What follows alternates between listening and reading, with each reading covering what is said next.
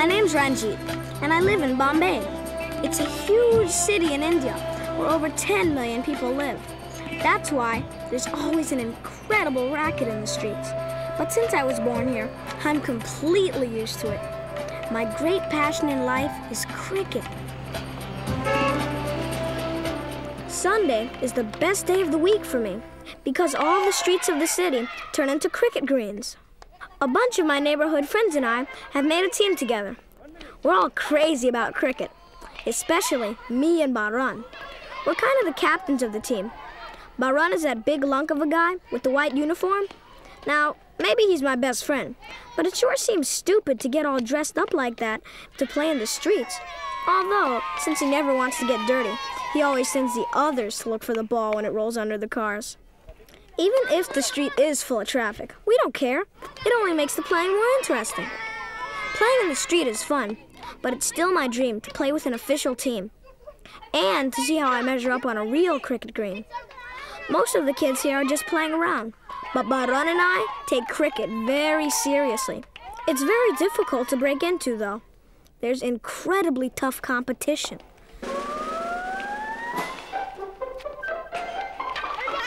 We've really got to run fast. That's what playing in the street is all about. But we do get in trouble all the time.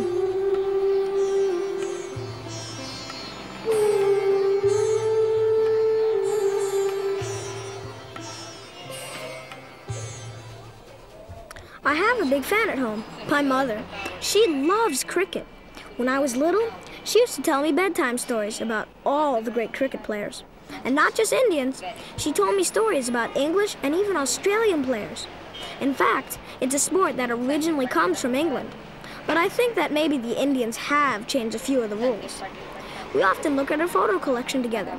She started it when she was 16 years old, and now I'm carrying on the tradition.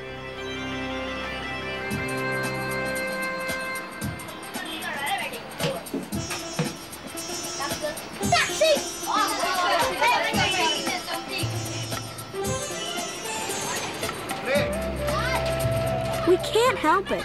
We play even on the bus. I'm not so sure that the other passengers appreciate our performance, though. For a change of pace, and especially to get away from the complaining neighbors, we've decided to look for a place to play in the city. But I don't feel like walking for miles. I really want to get playing.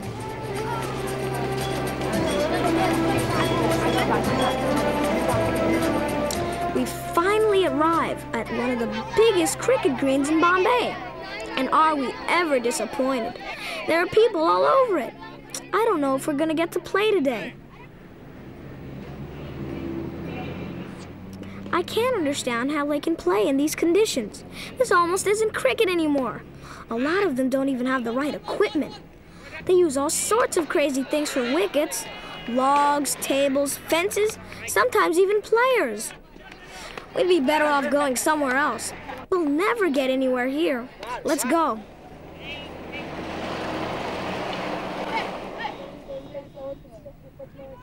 We've decided to go to the cricket club. There's a completely different ambience there. If we can't play, at least we can watch good players.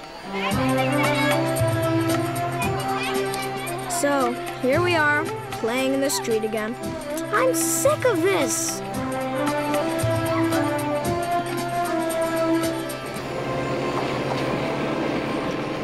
Finally decided to take a train to a professional cricket club. You have to really love cricket because the trains in India aren't comfortable at all and they rattle like crazy. Last week, I took part in the annual player tryouts. The players that they chose got to participate in the big match of the season. Today, they announced their choices. I've already tried out three times and I've never made it. The whole team is very excited and tries to reassure me. But I must say that I'm not really counting on it. Maybe Baran will get picked, but I think I'm still too little to take part in the big match. Wow, I can't believe it. The head coach says that he watched how I played very closely and he's decided to pick me for the team. With a good coach on a real green, maybe I can become a good player. He tells me that the most important thing I have to do now is to listen to all his advice and trust him. I'd love to do whatever he says. I can't believe my ears. This is the start of a whole new life for me.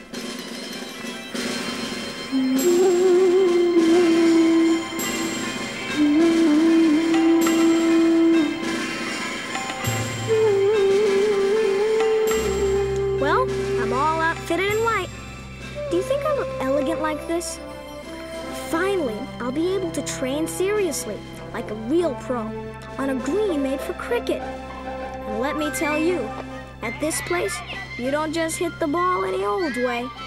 The players have been training since they were very little. I'm so proud to be here. Discipline, good manners, and tenacity. Those are the golden rules of cricket.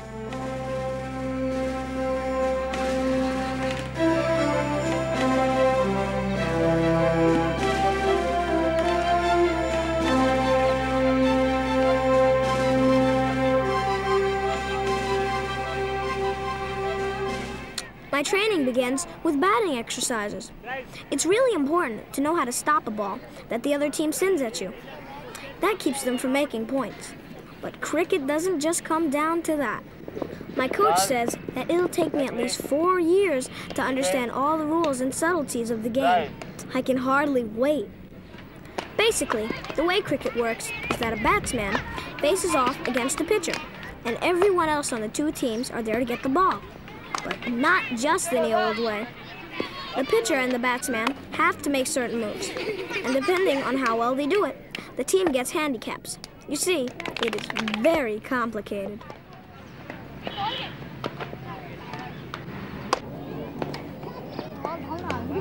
There are different types of training depending upon the level of the player. Right now, the most important thing for me to learn is how to throw and hit the ball. Just being on this field gives me wings. Good thing I'm so psyched up, because you never stop running in this sport. You need really good endurance. At the end of each workout, I go to meditate in the little Ganesha temple. I pray, and sometimes I leave offerings.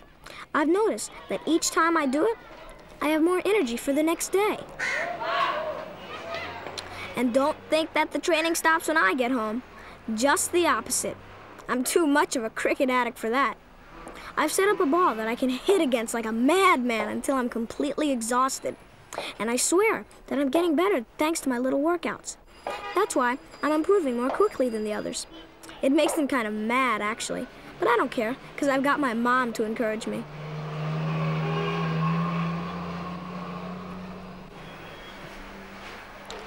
The other thing I do is concentration exercises.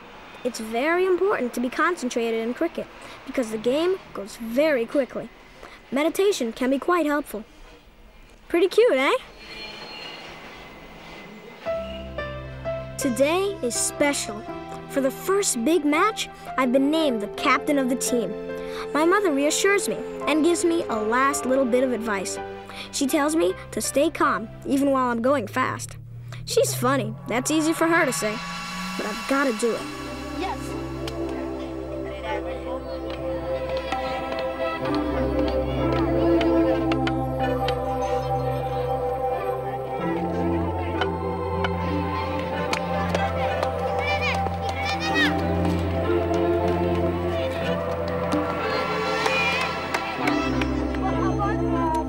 I've been repeating all the advice my mother gave me.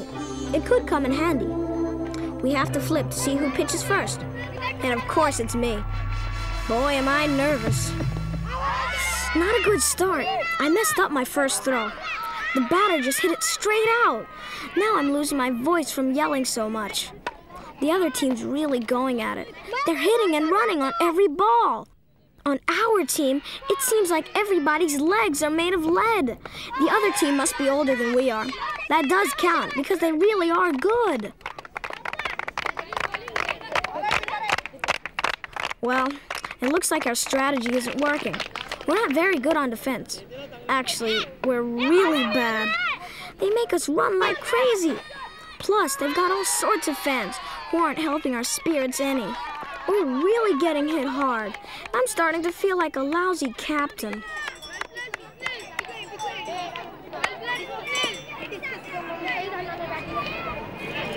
I have to react. I can't let us get slaughtered like this. Luckily, it's my turn to hit. I'm better at it.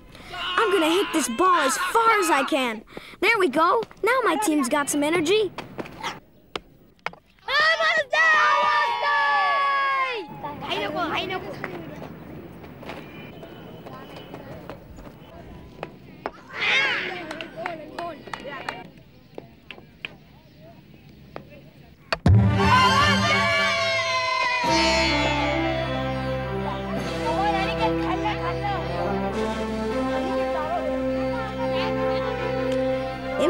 Luckily, I caught up the score a little bit. It was about time. But the battle is far from over. We're really gonna have to give it all we've got to catch up and win.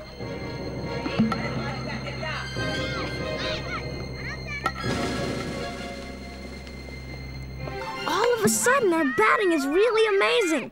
I don't know what's going on, but everyone is hitting great. My players are winning point after point, and I'm yelling like crazy. I'm not here just for the fun, you know. I want my team to win.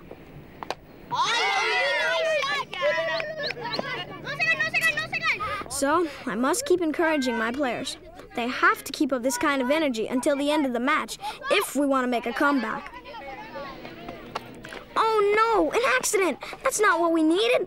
The other team thinks they've got it won. My players have stopped running. Everything has swung the other way again. We're starting to lose points. And the other team is making fun of us.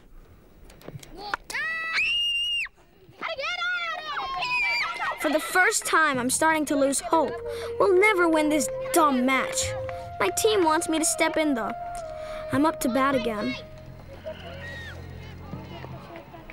So, I get all my strength together and think about my mom's advice. Stay calm and concentrate. I hit it for all I'm worth, and our score starts going up again. Hit hard, hit even harder. I feel confident again. I really want to let them have it.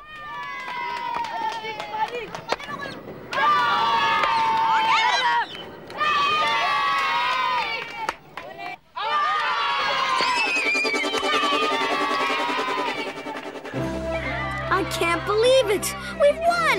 It was so close, but we deserved it.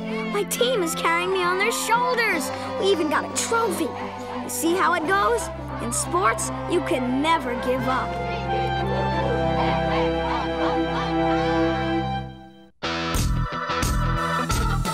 Run it faster than you did before. Hold it every time you go for more. Win it, break the limits as you're soaring high.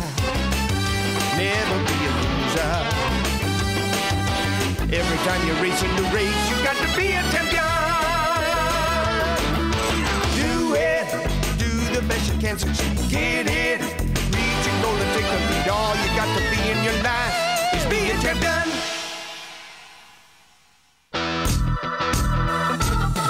Run it faster than you did before. Hold it every time you go for more.